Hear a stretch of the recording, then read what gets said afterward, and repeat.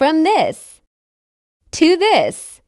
Anaya Isabel baptism. Last night, niready ko na nga yung mga balon na gagamitin namin sa binyag ng baby Anaya namin at may baby pa nga dito na nakikigulo. Kinabukasan, niready na nga namin yung DIY souvenir ni Anaya. Madalas talaga na nakakatipid kapag nagdi-DIY. Sobrang ganda din na kapag yung souvenir mo ay yung magagamit ng ninong at ninang. At eto naman na napaka-cute na rosary keychain, mabibili mo na siya na may printout na. After nga niyan, inayos na rin namin yung mga souvenir dito sa standee, pati na rin yung cake. Eto naman na super cute na cake ni baby Anaya Anaya namin. Medyo napaisip din ba kayo kung ako talaga yung nag-decorate ng binyag ng baby Anaya namin? Kung nagandahan at natuwa din kayo sa ayos nila, i-message nyo na lang sila sa Facebook page nila. Hindi nga pala kasama sa package namin yung ceiling, kaya naman nagdesisyon ako na ako na lang yung gagawa para may participation ako sa binyag ng baby Anaya namin. Hindi naman ako nabigo na kahit pala desisyon ako, sobrang ganda rin naman ng kinalabasan. At alam niyo ba na sobrang sulit talaga na magpabook sa kanila bukod sa may kasama na siyang catering,